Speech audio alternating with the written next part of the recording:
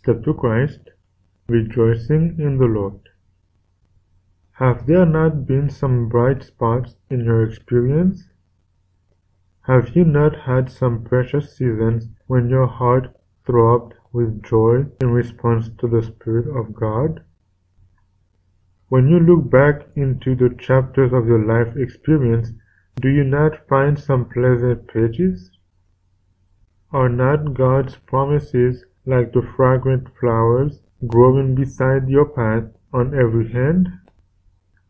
Will you not let their beauty and sweetness fill your heart with joy?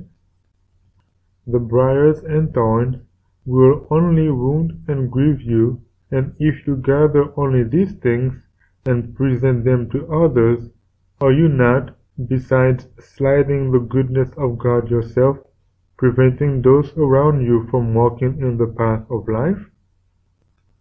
It is not wise to gather together all the pleasant recollections of a past life, its iniquities and disappointments, to talk over them and mourn over them until we are overwhelmed with discouragement.